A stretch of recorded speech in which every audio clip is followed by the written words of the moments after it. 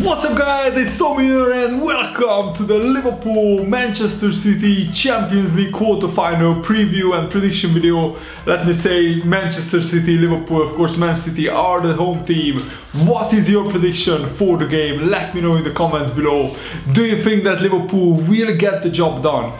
It will take a monumental collapse from Liverpool to throw away a 3-0 lead and a clean sheet in the first leg, but if a team can overtake uh, this deficit, if there, can, if there is a team that can come back from this, it's Manchester City. Because listen to this, Manchester City, out of their 50 games that they played this season, 23 times they scored 3 goals or even more than that. 23 times, almost half of their games Manchester City scored three goals or more. They are an outstanding football team. This tie is not over yet.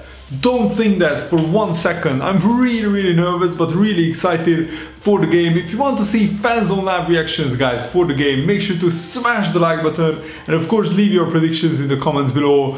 I'm really hoping that Liverpool can put a really good defensive performance together. In the first leg, Liverpool were outstanding defensively, especially in the second half where Manchester City pushed us all the way. Liverpool held firm and not conceding an away goal to Manchester City is vital because if Liverpool scored just one goal, just one goal at the Etihad, then Liverpool need to concede five goals uh, to, not, to go out and that's not unheard of because Manchester City beat Liverpool 5-0 at home in the league. So they are certainly capable of beating Liverpool um, with a big scoreline, but that hasn't happened very often. And since Van Dijk came in, Liverpool defensively have been much, much better. The big worry for this game for me is that Jordan Henderson is missing, and he's one of our, if not our best defensive midfielder. I think uh, Jurgen Klopp will go with uh, Karius, Trent Alexander-Arnold, uh, Lovren, Van Dijk, and Robertson as the back four Hopefully Robertson will be back from injury. I think Alex Oxlade-Chamberlain, Wijnaldum and James Milner are the only three fit and available midfielders. Jordan Henderson is also fit, but he has to skip this game because of that silly yellow card that he picked out, picked up five minutes before the end in the first leg. And of course the big question is, will Mohamed Salah be fit? He traveled with the squad, which is good news, and Jurgen Klopp also said that it's more likely that Salah will play in this one uh, than not. So let's hope that Salah, Firmino and Mane will play up front and I really hope that we don't sit back. It's vital that Jurgen Klopp gets his tactics right, but I believe in him. He is one of the top 5 best managers in the world in my opinion. Pep Guardiola is also one of the top 5 best managers in the world, but I think Jurgen Klopp won the tactical battle in the first leg and Manchester City need to play their perfect game and also hope that Liverpool will have an off day, which can happen this season. It happened a couple of times, but also Manchester City, their ego and their confidence was very heavily damaged and bruised because after being 2-0 up at home against uh, their biggest rivals Manchester United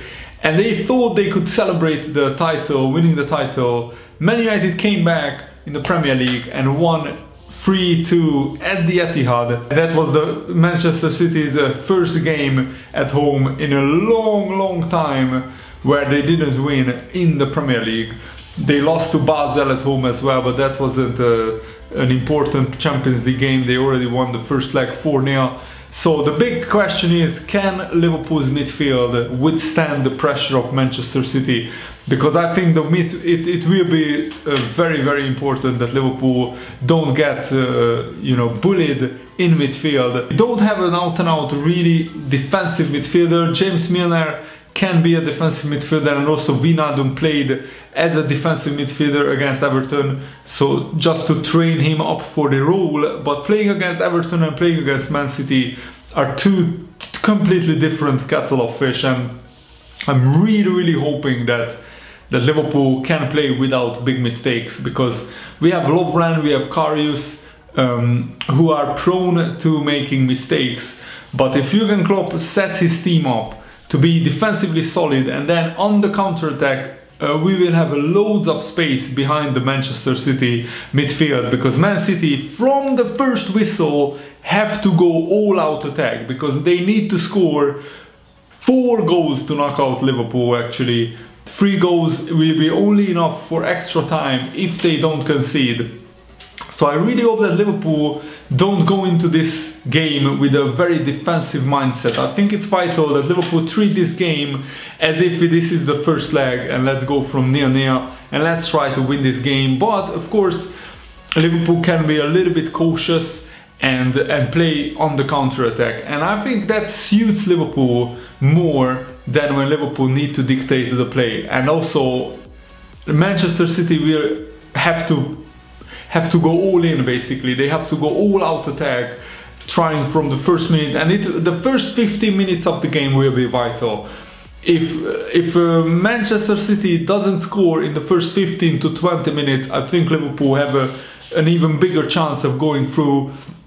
But if Man City score early, the momentum will be with them. The stadium will be rocking I don't expect a crazy good atmosphere at Manchester City because the Man City fans aren't famous uh, for creating a big, big atmosphere, but they will be certainly up for it. This is probably their biggest game of the season because I think the title race is already over. Manchester City already won the league, not on paper, but they will get there. They only need one more win from the last like five games or, or six games what they have so I think Man City are, are already done and dusted in the Premier League. So this is a huge game because if they go out in the Champions League right now, they will have nothing to play for in the last few uh, months of the season and they will put everything into this game.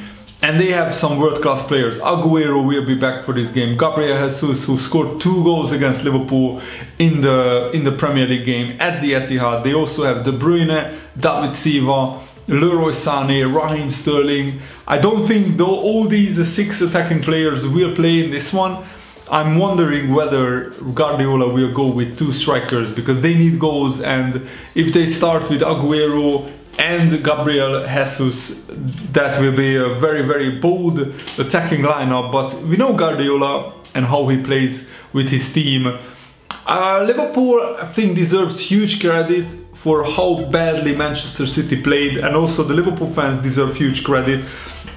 By the way, uh, I'm really looking forward to the Liverpool away fans at the Etihad because they always put in a great atmosphere. Uh, I think Liverpool uh, need, need to be also uh, not too cautious but a little bit cautious so we shouldn't uh, we, I think Liverpool should play their normal game like they used to but with uh, with uh, the thinking behind the tactics that we shouldn't push our fullbacks further forward than that is necessary for the attack because Leroy Sané and Raheem Sterling can get behind the fullbacks and I think that's where Liverpool are most vulnerable. I don't want to get don't want to give tips to Manchester City but in the first leg at Anfield, Liverpool were very smart in that they didn't let Alexander Arnold uh, be one-on-one with Leroy Sané. There was always either Wijnaldum, uh, sorry, uh, there was always either Henderson or Milner helping um, helping Alexander Arnold in the game with Leroy Sané, so he wasn't one-on-one, he wasn't exposed. And also Alexander Arnold put in a very, very good defensive performance. I think he improved a lot since that Manchester United game where Alexander Arnold was at fault for some of the goals. But I think uh, against Manchester City, that's the key. Don't leave spaces behind the midfielders. So Raheem Sterling and Alexander Arnold can't run at the fullbacks one-on-one or can't run at the defense one-on-one. But also, Liverpool shouldn't give up attacking in this one because we cannot defend for 90 minutes and expect to go through because Manchester City I expect them to score goals. That's what they always do at home. They score goals so Liverpool need to score as well, and I, I, expect Liverpool, I expect Liverpool to score in this one, and then that should be enough because I just don't think uh, that Manchester City can score five or six goals if Liverpool play the way they usually play since Virgil van Dijk came in. Virgil van Dijk has improved our defense massively. If it was Lovren and Klavan, I would be very worried for this game. But uh, Van Dijk and, uh, and Lovren is a solid, solid partnership. Um, partnership, sorry, and I'm really, really looking forward to this game. I'm, I'm also very nervous, but quietly confident that Liverpool won't give away a free goal lead. Honestly, I think that since Van Dijk came in, our defense is so much better that Manchester City, who will probably score one or two, maybe even three goals, I expect Manchester City to, to, score definitely, but I also expect either Salah, Firmino or Mane to score one or two goals for Liverpool and that will be key. Keeping a clean sheet at home is the key to this tie in my opinion because if Liverpool score eh, and we don't even have to score early we might score at the end of the first half or at the beginning of the second half but if Liverpool score